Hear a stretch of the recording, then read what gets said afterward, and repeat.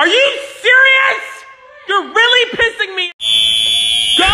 You know what to do. Time out. Hey, Derek, do you want a? Time out. Yep. You're gonna stay up there for seven days. You're pissing me off.